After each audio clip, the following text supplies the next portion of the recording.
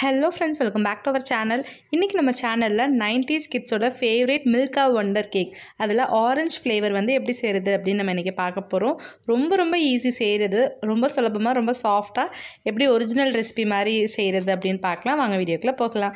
Video பார்க்குறதுக்கு முன்னால் நீங்கள் நம்ம சேனலில் ஃபர்ஸ்ட் டைம் பார்க்குறீங்க இல்லை சப்ஸ்கிரைப் பண்ணாமல் பார்க்குறீங்கன்னா மறக்காம கீழே தெரியுற ரெட் கலர் பட்டனை கிளிக் பண்ணி சப்ஸ்கிரைப் பண்ணிவிட்டு பக்கத்தில் இருக்கக்கூடிய பெல் ஐக்கானை டேப் பண்ணிக்கோங்க. அப்போ தான் நான் போடக்கூடிய லேட்டஸ்ட் நோட்டிஃபிகேஷன்ஸ் உங்களுக்கு ரிசீவ் ஆகும். வாங்க வீடியோக்குள்ளே போகலாம்.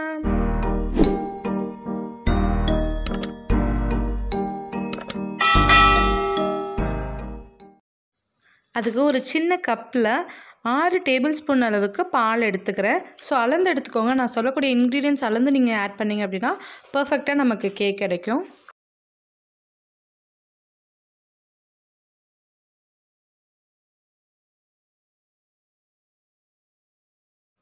ஆறு டேபிள் ஸ்பூன் அளவுக்கு பால் சேர்த்தாச்சு.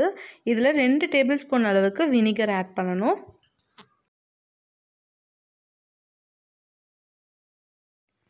இப்போ இது ஒரு வாட்டி நல்லா மிக்ஸ் பண்ணி விட்டுட்டு இது ஓரமாக வச்சிடலாம்.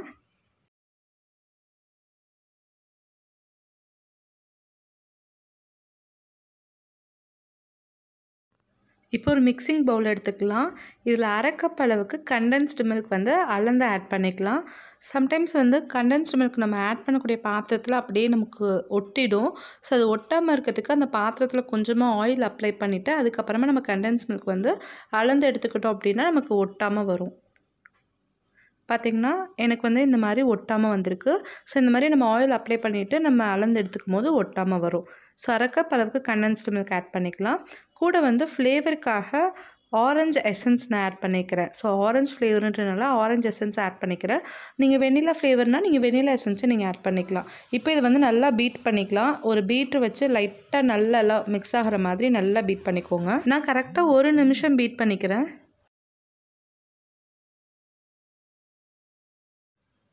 இப்போ ஒரு நிமிஷம் ஆகிடுக்கு அதனால் நான் ஸ்டாப் பண்ணிக்கிறேன். இப்போ நம்ம சுகர் ஆட் பண்ணிக்கலாம். ஹாஃப் கப் அளவுக்கு சுகர் ஆட் பண்ணிக்கிறேன். சுகரை சேர்த்துட்டு நல்லா பீட் பண்ணிக்கோங்க. சுகர் கரையணும்னு அவசியம் இல்லை. நல்லா பீட் பண்ணாலே போதும். ஒரு டூ மினிட்ஸ்க்கு நல்லா பீட் பண்ணி எடுத்துக்கலாம்.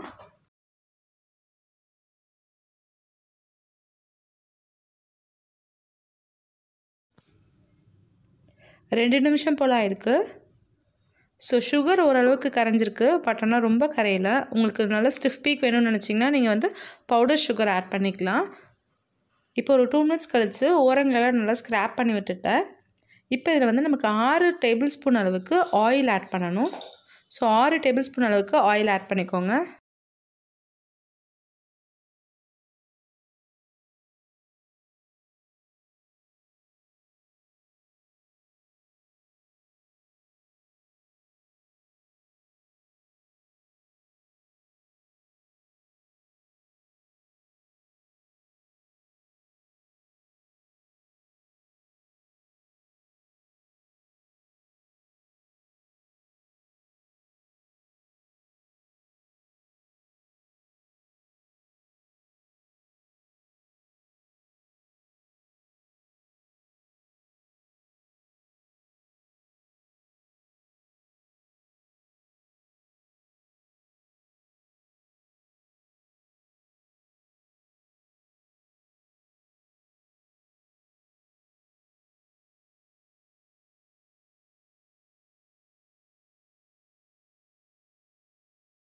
சரியாக ஆறு டேபிள் ஸ்பூன் அளவுக்கு ஊற்றியாச்சு இப்போ இதை வந்து லைட்டாக ஒரு வாட்டி ஒரு ஸ்பேச்சில் ஒரு ஸ்பூன் வச்சு லைட்டாக ஒரு வாட்டி மிக்ஸ் பண்ணிவிட்டு அதுக்கப்புறம் பீட்ரு வச்சு நல்லா கலந்து விட்டுக்கோங்க. அந்த சுகர் வந்து கரையிற அளவுக்கு நல்லா கலந்து விட்டுக்கோங்க.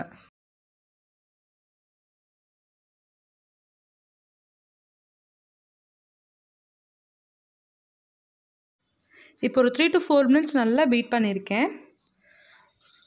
இப்போ சுகர் ஓரளவுக்கு நல்லாவே கரைஞ்சிருக்கு. இப்போ இதில் வந்து மாவு பொருட்களை நம்ம சேர்த்துடலாம்.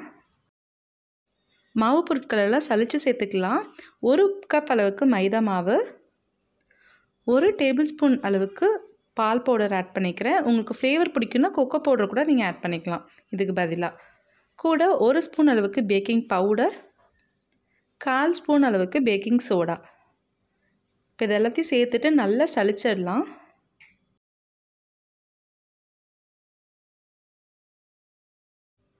இந்த அளவுக்கு நல்லா சலிச்சாச்சு இப்போ இதை வந்து ஒரு ஸ்பேச்சில் வச்சு நல்லா மிக்ஸ் பண்ணி விட்டுக்கோங்க. ஓவன் மிக்ஸ் பண்ணணும்னு அவசியம் இல்லை. எல்லாம் நல்லா கலந்து வந்தாலே போதும்.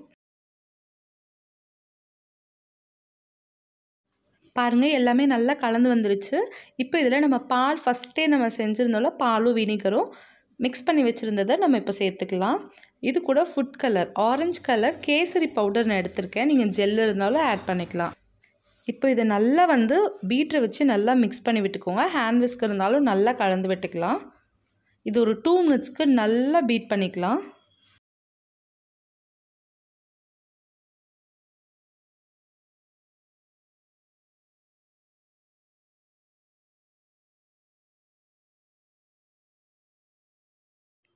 எல்லாத்தையும் நல்லா மிக்ஸ் பண்ணதுக்கப்புறமா இதில் ஹெர்ஷி சிரப் கோகோ பவுடருக்கு பதிலாக நம்ம இது வந்து ஒரு ஸ்பூன் ஆட் பண்ணிக்கலாம். இது நம்ம சேர்க்காமலும் செய்யலாம். நல்லா தான் இருக்கும் ஃப்ளேவர் சேர்த்தா இன்னும் கொஞ்சம் நல்லாயிருக்கும் டேஸ்ட் அதுக்காக நான் ஆட் பண்ணிக்கிறேன். இது வந்து ஒரு ஸ்பூன் அளவுக்கு நான் ஆட் பண்ணியிருக்கேன். இப்போ இதை நல்லா மிக்ஸ் பண்ணி விட்டுருங்க. மிக்ஸ் பண்ணி ஒரு தேர்ட்டி செகண்ட்ஸ் மிக்ஸ் பண்ணிவிட்டு நம்ம ஸ்டாப் பண்ணிக்கலாம். தேர்ட்டி செகண்ட் போல் ஆயிடுச்சு. இப்போ இதில் வந்து நம்ம ரெண்டு ஸ்பூன் அளவுக்கு பால் காய்ச்சின பாலாக இருந்தாலும் சரி காய்ச்சாத பாலாக இருந்தாலும் சரி ரெண்டு ஸ்பூன் அளவுக்கு ஆட் பண்ணிவிட்டு நல்லா நம்ம பீட் பண்ணிக்கலாம். ஃபுல் ஸ்பீடில் வச்சு பீட் பண்ணிக்கோங்க. ஒரு தேர்ட்டி செகண்ட் போல் பீட் பண்ணிவிட்டு நம்ம ஸ்டாப் பண்ணிக்கலாம். நம்மளோட கேக் மிக்ஸ் ரெடி ஆகிடுச்சு பேக் ஆகிறதுக்கு சூப்பராக ரெடி ஆகிடுச்சு இப்போ இதை நம்ம எடுத்துட்டு கேக் டின்னு எடுத்துடலாம். குக்கரில் வைக்கிறது எப்படி? அண்ட் வந்து நம்ம வெறும் பேனில் மட்டும் வச்சு எப்படி பேக் பண்ணுறது அப்படின்லாம் நான் ஏற்கனவே வீடியோ போட்டிருக்கேன். பார்க்காதவங்க செக் பண்ணி பாருங்கள் நிறைய வீடியோஸ் போட்டிருக்கேன். இப்போ வந்து நான் இன்றைக்கி ஓவனில் தான் வைக்க போகிறேன் ஓவனில் வைக்கிறதுக்கு வந்து ஓவனில் வைக்கக்கூடிய அந்த டின்னை வந்து ஃபுல்லாக வந்து ஆயில் ஊற்றி நல்லா ப்ரஷ் பண்ணிக்கிறேன். ஸோ இந்த மாதிரி நல்லா ப்ரஷ் பண்ணிவிட்டு இதில் பார்ச்மெண்ட் பேப்பர் போட்டுக்கலாம். பார்ச்மெண்ட் பேப்பர் ரெடி பண்ணுறது எப்படி வீட்லேயே அப்படின்றதையும் நான் வீடியோ போட்டிருக்கேன். தெரியாதவங்களுக்கு கீழே டிஸ்கிரிப்ஷன்லேயும் மேலே காய்ச்சல் லிங்க் கொடுக்குறேன். செக் பண்ணி விட்டுக்கோங்க. அண்ட் அந்த பார்ச்மெண்ட் பேப்பருக்கு மேலேயும் நல்லா வந்து ஆயில் ப்ரஷ் பண்ணிக்கலாம். இப்போ நம்மளோட கேக் பேட்டரை ஊற்றிடலாம் சென்டர்லேருந்து போர் பண்ணுங்கள் மேலே கொஞ்சம் தூக்கி. அப்போ தான் பர்ஃபெக்டாக இருக்கும். எல்லா பக்கட்டும் ஈவனாக ஸ்ப்ரெட் ஆகும்.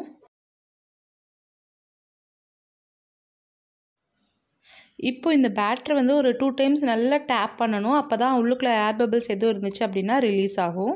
ஸோ தூக்கி ஒரு ரெண்டு தடவை நல்லா டேப் பண்ணிக்கோங்க. நான் வந்து ஓவனை வந்து ஒன் எயிட்டி டிகிரி செல்சியஸில் பத்து நிமிஷத்துக்கு ப்ரீஹீட் பண்ணிட்டேன். இப்போ அந்த ஓவனில் தான் நான் வைக்க போகிறேன் கரெக்டாக எனக்கு வந்து தேர்ட்டி ஃபைவ் மினிட்ஸ் ஆச்சு. ஸோ அந்த டைம் தான் உங்களுக்கும் எடுத்திருக்கும் எடுக்கும். இடையில இடையில ஏதாவது ஸ்டிக் வச்சு செக் பண்ணிகிட்டே இருங்க.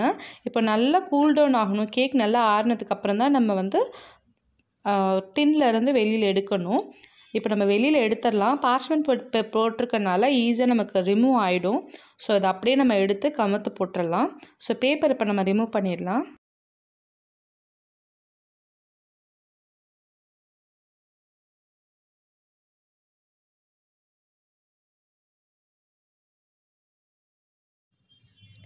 நம்மளோட கேக் சூப்பராக இருக்குது ஸோ இது நம்ம மறுபடியும் திருப்பி போட்டுட்டு நம்ம பீஸ் போட்டுக்கலாம். உங்களுக்கு எந்த சைஸில் வேணுமோ அந்த மாதிரி சைஸில் போட்டுக்கலாம்.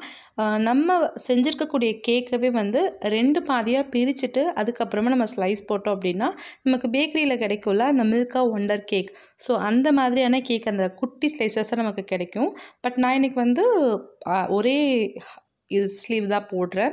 ஸோ அதனால் கொஞ்சம் வந்து கொஞ்சம் பெருசாக இருக்க மாதிரி இருக்கும். பட் ஆனால் டேஸ்ட் எல்லாம் உங்களுக்கு அதே மாதிரி இருக்கும். கண்டிப்பாக நீங்கள் உங்கள் வீட்டில் ட்ரை பண்ணி பாருங்கள் ரொம்ப சாஃப்டாக ரொம்ப சூப்பராக நமக்கு கடையில் கிடைக்கக்கூடிய அதே ஃப்ளேவரில் இருக்கும். கண்டிப்பாக ட்ரை பண்ணிவிட்டு எப்படி இருந்துச்சுன்னு மறக்காமல் உங்களோட ஃபீட்பேக்கை கீழே கமெண்ட்டில் சொல்லுங்கள் உங்களுக்கு இந்த வீடியோ பிடிச்சிருந்தா மறக்காமல் லைக் பண்ணுங்கள் உங்கள் ஃப்ரெண்ட்ஸ் அண்ட் ஃபேமிலிஸோட ஷேர் பண்ணுங்கள் உங்களுக்கு இந்த வீடியோவில் இருக்கக்கூடிய கண்டென்ட் யூஸ்ஃபுல்லாக இருக்கும்னு நினச்சிங்கன்னா மறக்காமல் நம்ம சேனலை சப்ஸ்கிரைப் பண்ணிக்கோங்க. So keep on smelling thank you very much வாட்சிங் திஸ் வீடியோ பாய் தம்பி எப்படி இருந்துச்சு? நல்லா இருந்துச்சு.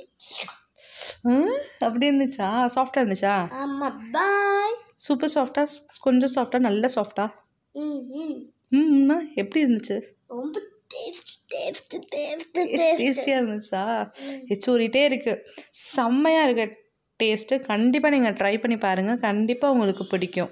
ஸோ சாஃப்ட் உள்ளுக்குள்ளே வந்து நல்லா பஞ்சு மாதிரி நல்லா சாஃப்டாக இருக்குது கண்டிப்பாக ட்ரை பண்ணிவிட்டு எப்படி இருந்துச்சுன்னு உங்களோட ஃபீட்பேக்கை கீழே கமெண்ட்டில் ஷேர் பண்ணுங்கள்